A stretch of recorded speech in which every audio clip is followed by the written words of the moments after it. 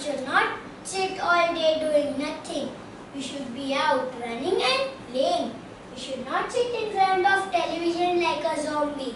Unless, of course, if you want to become fat, go ahead and have fun.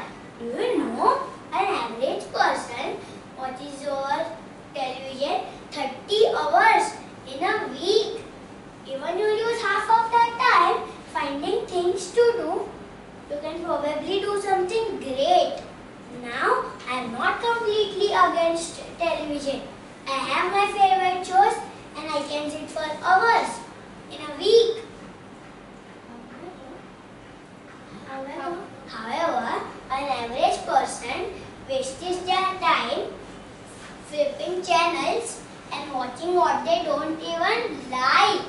Once you realize how much time you're wasting while watching television, I want you to take some of that time finding things to do.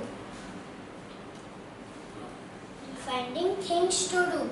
There are many more things to do, like reading books, spending time with family and friends, go in the park for fresh air, pick up a hobby like dancing, music, uh, art, etc., cooking with parents, cooking with parents, sit on a terrace or a window and watch the whole world unfold around you.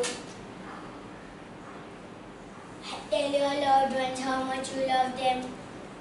Tell your loved ones how much you love them. Help out the poor and the needy. So the good thing about life without television will be we will be more connected to our surroundings. We will be more connected to our surroundings. On the other hand, television works as a huge source of information. When it comes to international news, I want you to take. No, I know. I know we can get lots of information from other sources like internet. When, but the older generation is not much friendly with it. Our parents and our grandparents are not much friendly with internet.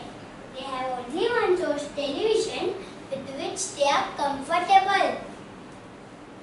In the end, who will, you will decide how to use a television.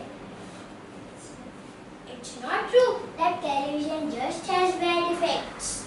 There are many pro there are many channels which shows excellent educational programs and which can help students learn many beneficial things in an easy way.